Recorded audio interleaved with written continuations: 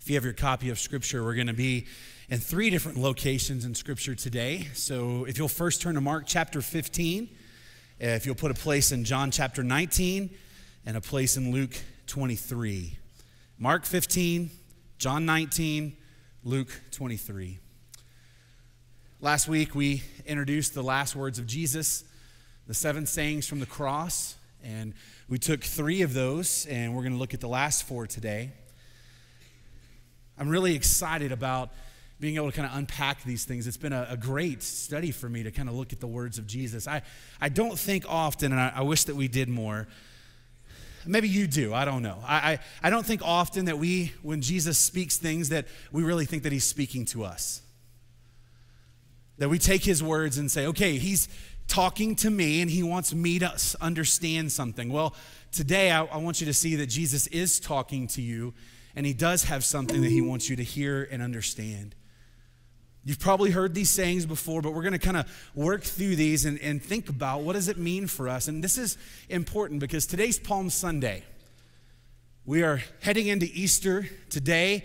Over 2,000 years ago, Jesus was riding on a donkey as he came into Jerusalem, and everyone was shouting and singing and praising God. And they were saying, Blessed is he who comes in the name of the Lord. They were so excited. And then things turned really, really quickly. And what we're going to come to today is the last four sayings that Jesus said while he was on the cross. We talked about last week that these are important, not just because they're the last things he said, but it was because it took everything that he had to be able to say the things that he said. So we need to listen to them, we need to believe them, and we need to accept what Christ wants and wants to give us in these things. So the first one is Mark chapter 15, verses 34 through 36. At the ninth hour, Jesus cried out with a loud voice, Eloi, Eloi, lama sabachthani, which is translated, My God, my God, why have you forsaken me?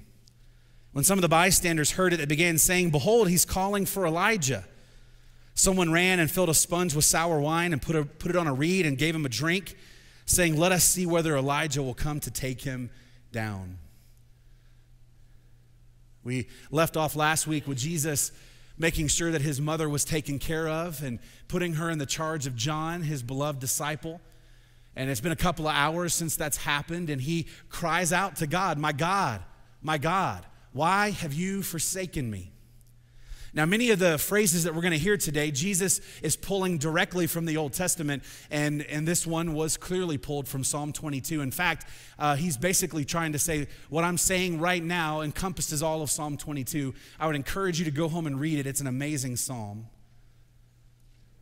But Jesus, having been on the cross several hours, having been dealing with all the things that he dealt with, being beat half to death, being striped, being uh, put on the cross, being you know humiliated, mocked, and scorned. In the middle of all this, he cries out, "My God, my God, why have you forsaken me?" You ever felt that way? You ever felt all alone? You ever felt like that your prayers don't go past the ceiling? You ever felt that exactly what Jesus said God, you've forsaken me. Why aren't you here? Why aren't you doing the things that I need you to do? Why aren't you helping me? I want you to hear these words on the lips of God Himself My God, my God, why have you forsaken me? Jesus says this because he was experiencing everything that we go through except for sin. One of the things the Bible tells us, and it's true, is that Jesus experienced everything that we as human beings experience except the experience of sinning against God, committing a sin himself. And sometimes people like to say, well, you know, this isn't real. Jesus is God. He's man. I mean, you know, what could he have been feeling at this point? I don't know. Let's think about what he could be feeling. At this moment, God is laying on him all of our sin. Jesus didn't sin, but he felt the weight and the consequences of our sin. See, here's the thing we never feel the weight and consequences of our sin. Yes, there are consequences to our sin that we have. Yes, are, we, we experience those in our life. But Jesus experienced the weight and the full consequence of sin, which means he was forsaken by God. God turned his back on him and he experienced death.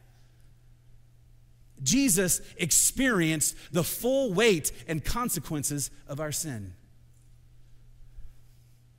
Up until this point, there had never been a moment in history, the history of the universe, where God and Jesus had not been in complete and total communication and fellowship and harmony.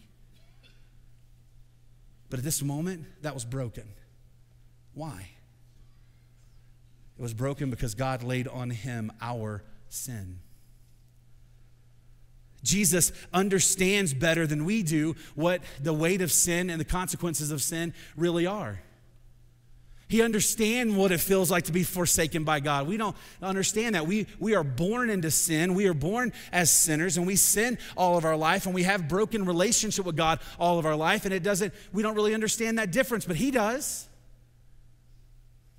Can you imagine to be sinless, perfect, in perfect fellowship with God, in perfect relationship with God, in perfect love with God in one moment, and then in another moment, you are tarred by the sin of all humanity. You are engulfed by the shame and by the, the filth and the dirt of our sin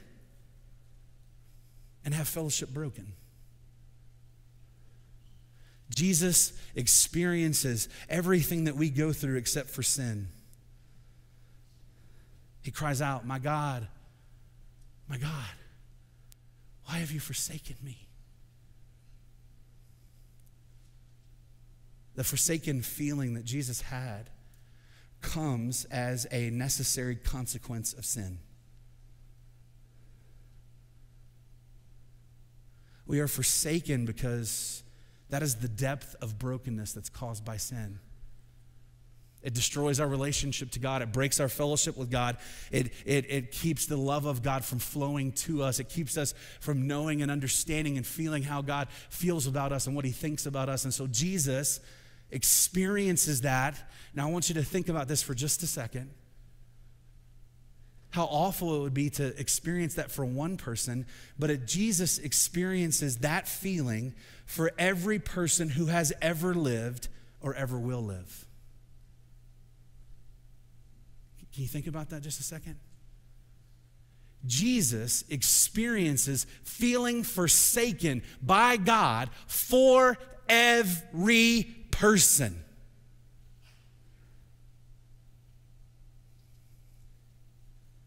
Jesus experiences the weight and the consequences of every person's sin. I can't even I can't even understand what that would feel like or, or I can't even understand the magnitude of that. So he cries out.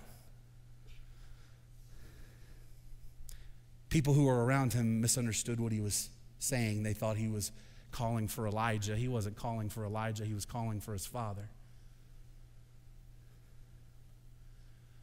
But he was also reaching back. He was reaching back into the Old Testament to grab a promise that God had made many, many hundreds of years before this moment. Because he wanted people then and he wants people now to understand that what was happening was not an accident. What was happening was not a coincidence. What is happening is, is a fulfillment of God's promise. I told you to go back and read Psalm 22, and I would encourage you to do it. Psalm 22 was written 800 years before crucifixion ever existed. And you say, well, why does that matter? Because in Psalm 22, David, writing about his relationship with God, begins to explain what crucifixion really looks like. He talks about being crucified. He talks about being rejected. He talks about all these kind of things. But David could not know, and the people could not know, and we could not see, but Jesus did. Jesus reaches back into Psalm 22 and says, When God talked about that then, this is what he's talking about now. You say, But Michael, come on. Let me just tell you some things that Psalm 22 talks about. Psalm 22 has a section where it says that God's person would come and he would be rejected by the people. He'd be despised, he'd be humiliated, he'd be outcast. Now, I can see you're not convinced yet. I have more ammo. It says God's anointed one would have his hands and feet pierced. Now, again, 800 years before there was a, an execution called crucifixion, and it said that they would take me and they would pierce my hands and they would pierce my feet.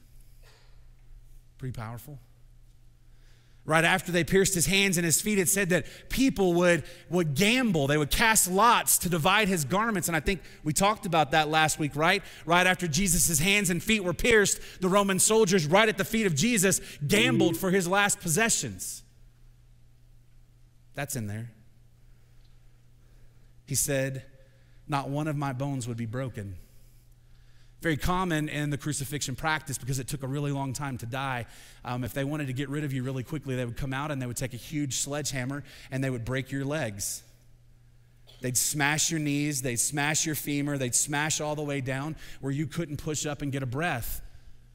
And in fact, they did that to the people around Jesus, but guess what? They didn't do it to Jesus hundreds and hundreds and hundreds of years before God would be on a cross, God said, This is going to happen. They're going to pierce my hands and feet. They're going to gamble for my clothes. Not one of my bones would be broken. And that's what he's saying. He reaches back. He reaches back to communicate that God keeps his promises. And the ending of that psalm is glorious because the ending of the psalm says this God brings salvation to his people. That God redeems his people. And Jesus is trying to say that God forsakes me so that he doesn't have to forsake you. I have God turn his back on me so that God never turns his back on you. I have God pour out his wrath and justice and anger against sin, your sin, on me so that he doesn't have to pour it out on you. I taste death for you so that you don't have to taste death. God brings salvation. So Jesus reaches back to grab hold of this promise, to pull it in, to say, I want you to see right now what is happening. God's promise is being fulfilled in front of your eyes. I want you to make no mistake about who I am. I want you to make no mistake about what is happening here. They're not just killing an innocent person, and they are. They're not just crucifying God, and they are. What's happening here is salvation. Now, before we move to his next saying, one of the things I want to spend just a moment on that you need to hear no one knows better what you are going through than Jesus. For so many of us, we don't come to Jesus, we don't talk to Jesus, we don't pray to Jesus, we don't bring our life to Jesus because we think he doesn't understand. We've pushed him at arm's length because he's God, and he is. He is God. But we keep him at arm's length because we think he can't ever understand what I'm going through. And the reality is, God became a man to experience everything that we experience except committing sin. And so here's the thing you need to hear today whatever you're going through, no one understands that better than Jesus. You ever been picked on? He has. You ever been left out? He has. You have a dysfunctional family? Guess what? He does. He, he, he understands that. Even if you say we put the fun in dysfunction.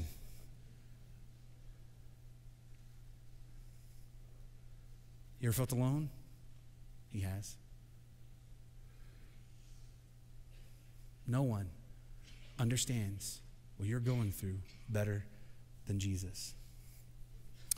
Turn to John chapter 19.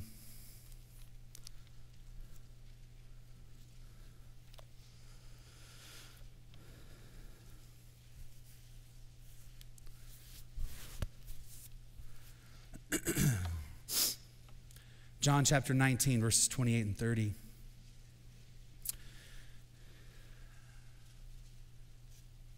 As the day war wears on and he has carried our sin, it says, After this, Jesus, knowing that all things had already been accomplished to fulfill the scripture, he said, I am thirsty. A jar full of sour wine was standing there, so they put a sponge full of sour wine upon a branch of hyssop and brought it up to his mouth. Now, I know you may think that in the seven sayings that this one probably doesn't have a place there because it's like, well, no, duh, he's thirsty. But again, he's reaching back into the Old Testament to fulfill, and it, even says this right here knowing that all things are accomplished according to the scriptures. In Psalm 22, verse 15, and Psalm 69, 21, we are told that the Messiah would suffer in that same psalm, Psalm 22 that I told you about, there was another section where the person who is suffering, the person who is experiencing this crucifixion says that my mouth is so dry that my tongue is stuck to the roof of my mouth. I can't say anything. Psalm 69 tells us that the Messiah would struggle because people would, would try to tempt him with wine and tempt him with sour drink, and they did that earlier on in the day in the crucifixion, the soldiers came to him and they, you know, brought him this really nasty sponge to put in his mouth. And, and then right as he was about to take it, they pulled it back from him. They said, Here, Jesus, let us show you some compassion. Let us help you out. We know you're thirsty. Here, take this. And as he leans down to take it, they're like, Ha ha, gotcha. Psalm 69 said that he would be mocked, they would withhold him drink. And when they finally would give it to him, it was gall mixed with vinegar. It was this terrible tasting, terrible smelling wine. And that's exactly what he gets. He says, I'm thirsty.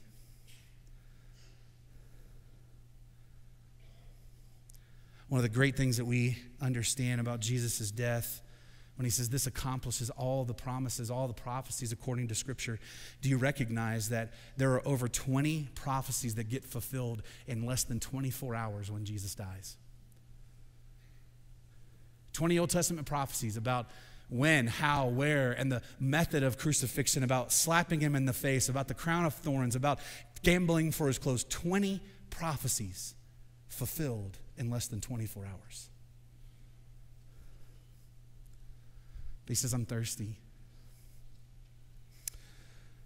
That thirst that he is feeling indicates the horrific toll that this took on him.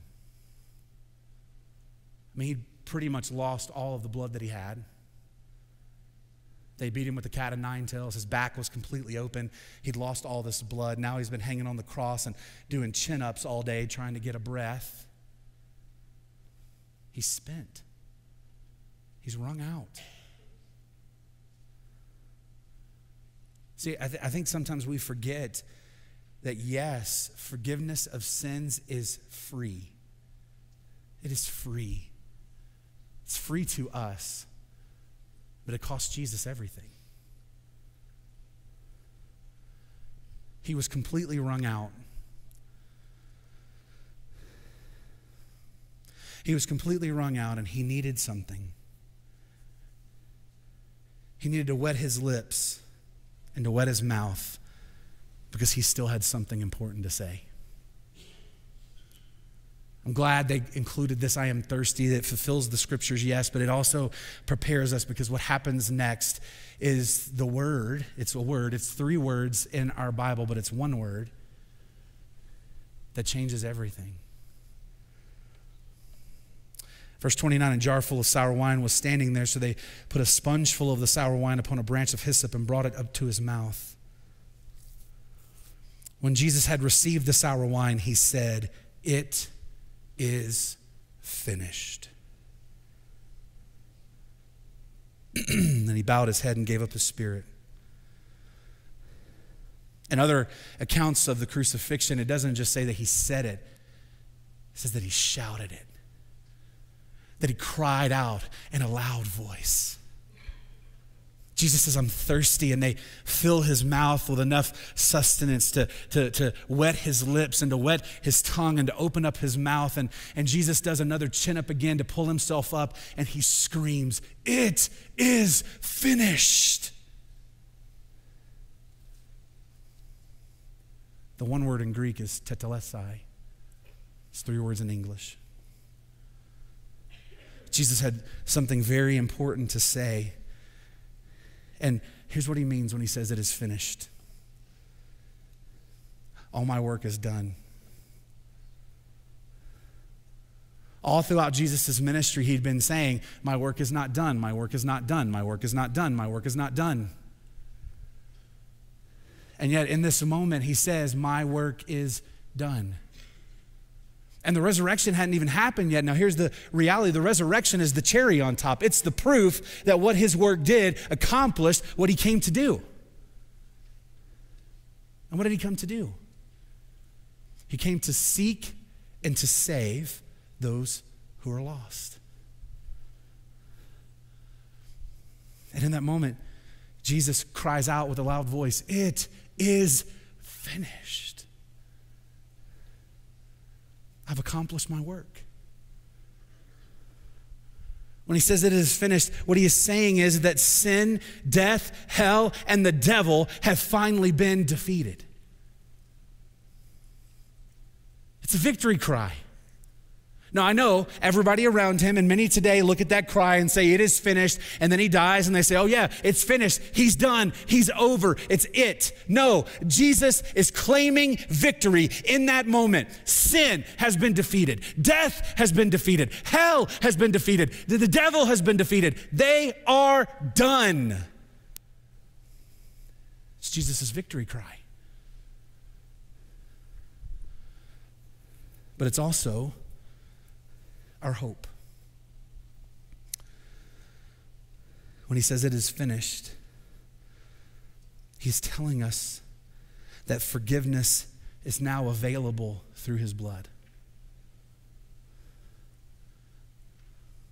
Here's what he's saying to all of us you no longer have to carry your sin. You no longer have to use faulty sacrifices that never take away your sin, they just kind of cover it. You don't have to live in shame anymore. You don't have to live with guilt anymore. You don't have to live as a slave to sin anymore. Forgiveness is available. Forgiveness has been given as a gift. It's finished. Even more, let me tell you what it means. This is what it means to me personally. It means I can stop trying to pay off my sin. I can stop trying to work off my sin. I can stop trying to be good enough. I can stop trying to work hard enough. I can stop being passionate and all the things that we think we need to do to deal with our sin because it is finished. Jesus took every drop of my sin and covered it in his blood. He crucified it in the cross and he buried it in his grave and he walked out alive on Easter Sunday morning. It is finished. There is nothing left for me to pay. And that's not just for me, that's for you too. Jesus has taken every drop of your sin Every drop of your shame, every drop of your guilt, every drop of your habit, every drop of your lifestyle, crucified it to the cross, buried it in the grave, never to be seen again. It's finished. So why so why do we run around all the time trying to prove to God and everybody else that we can pay for our sin? Because we don't listen to what he says. It is finished. Luke chapter 23.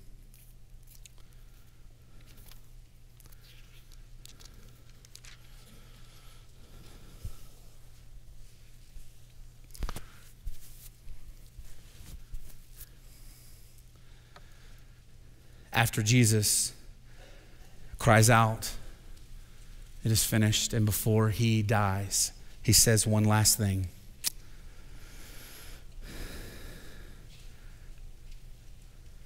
Luke 23, verse 46.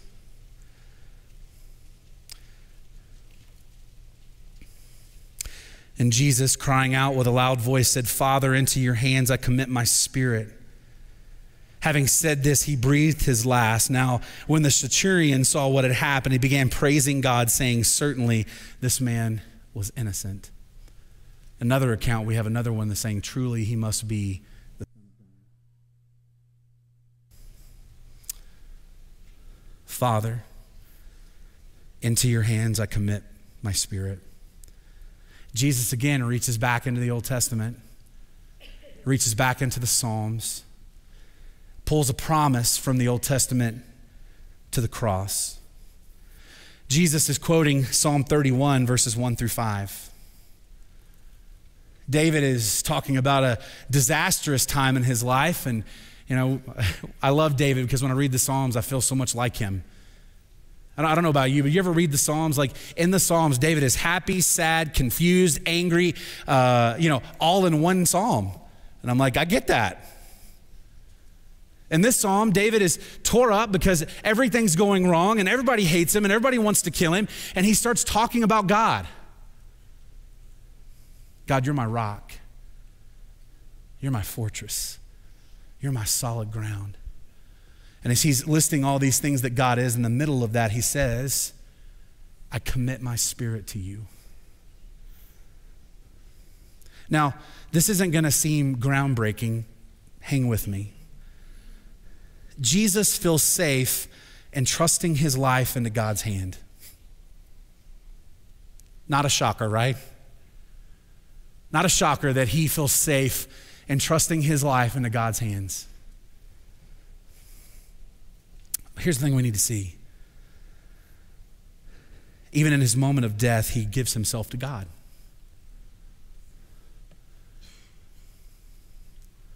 And the, the, reason that Jesus felt safe doing this is because that's what he had done with all of his life. Father, not my will be done, but your will be done.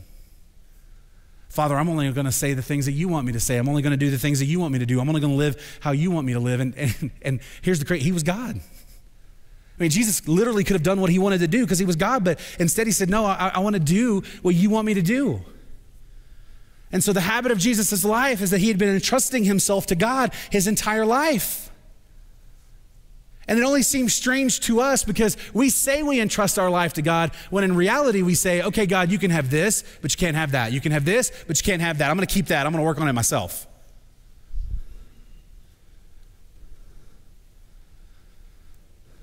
Even in his moment of death, he gives himself to God. This is a struggle for us. I mean, let's just be honest. I'll, be honest. It's a struggle for me. It's a struggle for me all the time to entrust my life to God. I don't know that I, being in Jesus' situation, would say the same things that he said. I definitely would be calling people to my aid to destroy all the people who are hurting me. I think I would be doing that. I don't think I would be saying, Father, forgive them. I would be saying, bring, you know, fire down out of heaven. I definitely don't be thinking like, okay, God, I'm going to entrust my life to you. Whatever happens, happen. I'd be saying, get me out of here. And the reason I can say that is because that's what I do right now. Get me out of this. It's too tough. It's too much. I don't deserve this. But Jesus committed his life to God. Why? Well, he knows some things about God that we sometimes forget. I would encourage you to go home and read Psalm 31, verses 1 through 5, because it tells you uh, just a litany of things of who God is. The first thing that you find out is God is our refuge. We love to put that in songs and crochet it on pillows, but we really don't think about what it means. Refuge is a military term, stronghold. It's the place that we go when we're in trouble. It's the place that we go when we've exhausted our resources, the places that we go that we know, at least here, I'll be safe. He said, God is our refuge, He's the stronghold of our life. I love when I think about refuge or I think about stronghold, I think about the movie The Lord of the Rings. If you guys watch this, you watch it, you'll know what I'm talking about as soon as I say it. The evil army was flooding over the earth, and the humans had to find a place to go. And they go to Helm's Deep. Helm's Deep was a stronghold built into the rocks of a mountain. I mean, basically, when you show up to this place, it's just all rock. And they get to hide inside the mountain. And, and they go there because they know nobody can get in, nobody can break in. And so that's where they went. That's who God is for us. God is that shelter. God is that rock. God is that fortress that we can hide ourselves in and be protected.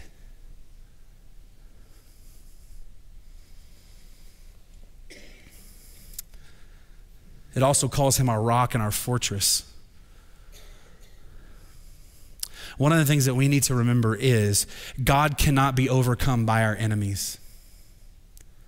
Unfortunately, in the movie The Lord of the Rings, they went to their place, they went to their fortress thinking they were safe, but they didn't realize that their fortress had a weakness. And their enemy found the weakness in their fortress and exploited it. And it was awful. But as I stand here today on the authority of God's word, can I tell you this? Our fortress has no weaknesses. No weapon formed against our God can prosper. There's no enemy strong enough. There's no enemy big enough. In fact, when we read in the end in Revelation, when the armies of the earth, literally crawling over the face of the earth, millions and millions and millions of people come against Christ, Christ shows up by himself. And he comes riding in on a white horse. He doesn't have a sword. He doesn't have cannons. He doesn't have attack helicopters. He comes in and he speaks a word, and they all fall. That's who he is. Jesus commits his life into God's hands because he knows that God's hands are the safest place for you to be. Because God is our rock, God is our fortress, God is our refuge. He's willing to commit his hands into God, or committing his life into God's hands because he knows that God will lead him and guide him, and God will lead me and guide us. Psalm 31 tells that God leads us and guides us. God knows the way that we need to go. Now, I'm sure that none of us would want to pick the road that Jesus walked on, but God did. God walked him down that road. And I love sharing this at funerals because it's the most important thing. God knows where we need to go, and God knows how we need to get there, and God is leading us and guiding us along the way. And here's what you need to hear that even in the valley of the shadow of death, you can fear no evil, for God is with you. And here's the thing you need to hold on to God will never ask you to walk through death alone. There was someone that walked through death alone so that you don't have to. Jesus walked through the valley of the shadow of death by himself. He took the weight of our sin. He took the weight of our judgment. He took the weight of all of that, and he died and he drank down death completely, and he walked out on the other side alive. So that now, when we start to walk through the valley of the shadow of death, someone comes alongside of us and grabs our hand and leads us from life to real life, and death never touches us. God will lead us, God will guide us, and you will never walk alone. He says, God will deliver me and God will rescue me in Psalm 31. Now, here's the thing that didn't happen for Jesus that happens for us. When Jesus pulls this from the Old Testament in Psalm 31, here's what he's saying God doesn't deliver me so I can deliver you. God doesn't rescue me so I can rescue you.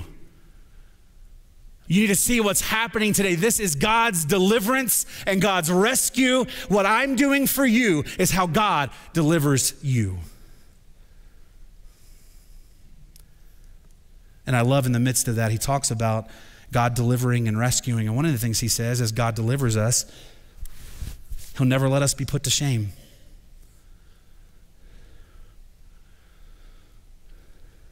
Think about that. Jesus was shamed so that we are not put to shame. Now, I know that we feel shame at times, and a lot of that times is we're feeling shame because we haven't come and asked for forgiveness and offered it to Jesus. But here's the reality God will never let us be put to shame. What that means is we'll never be separated from Him. God wipes away our shame, God wipes away our guilt with His grace and forgiveness.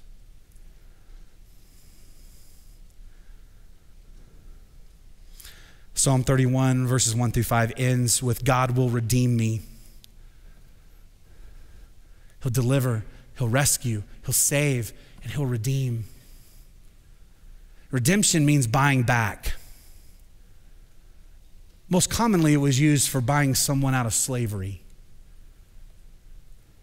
And Jesus reaches back into the Old Testament for this promise and he brings it forward and says, This is being fulfilled right now. What I'm doing is buying you back. I'm redeeming you from your slavery to sin and I'm setting you free. God will redeem us. God is always ready and God is always willing to save you. The question that you need to think about today is do you believe the words that Jesus has spoken? Is he telling you the truth? Is that his heart? Is he lying to you? I'm, I'm hard pressed to think that Jesus is lying as he's dying. I'm hard pressed to think that as he's pulling up to get a last breath, to kind of gasp some air into his lungs to say something, that that would be the moment he would choose to lie. So here's the question Are you willing are you willing to commit your life into the hands of God today? What does that look like? For some of us, coming for the first time to say, I'm a sinner. And Jesus, I recognize that only what you did on the cross will save me. I commit my hands, I commit my life into your hands. I want you to save me.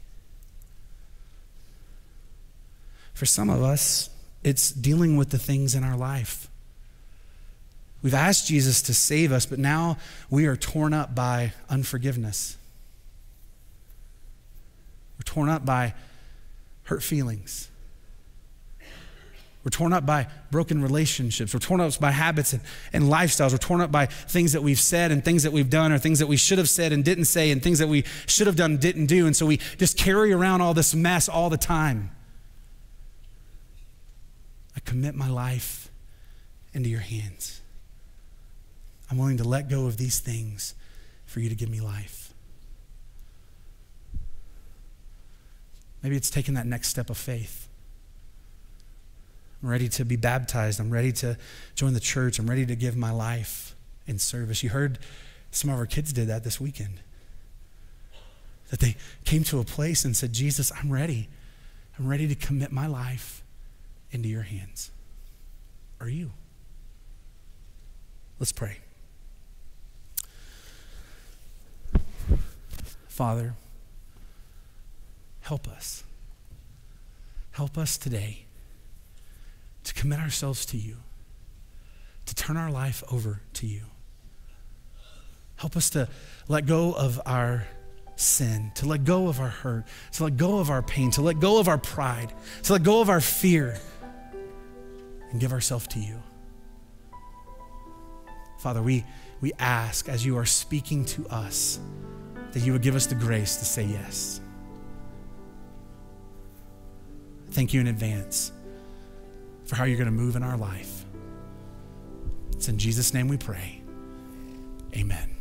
Hey, my name is Gabby Betancourt. Thank you so much for joining us on our live stream today. If you have any questions about what we have going on here at Central, please make sure to check out our website. We have everything listed on there. And if you feel led to make a decision based on what you heard today, please make sure to message us. We would love to connect with you.